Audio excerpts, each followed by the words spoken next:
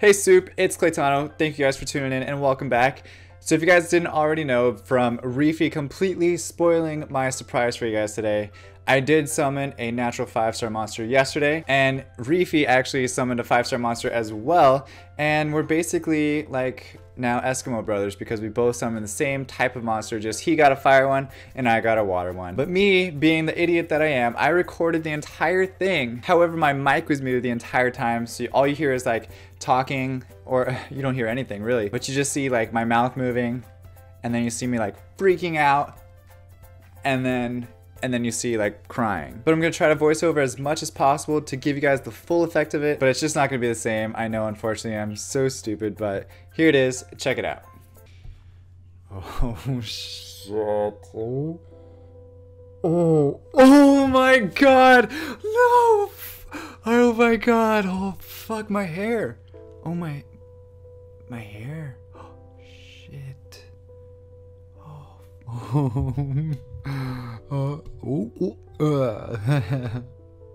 oh fuck, you gotta be kidding me.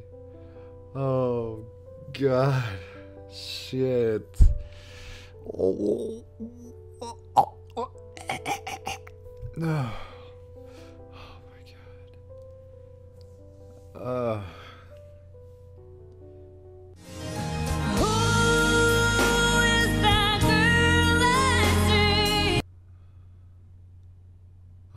God.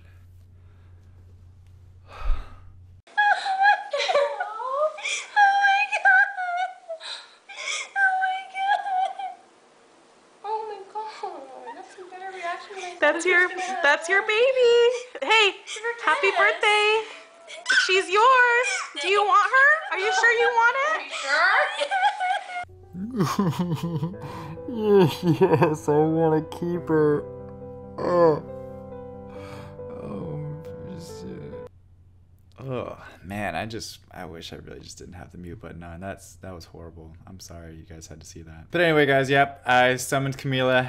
Thank you guys so much for watching. Hope you guys enjoyed it.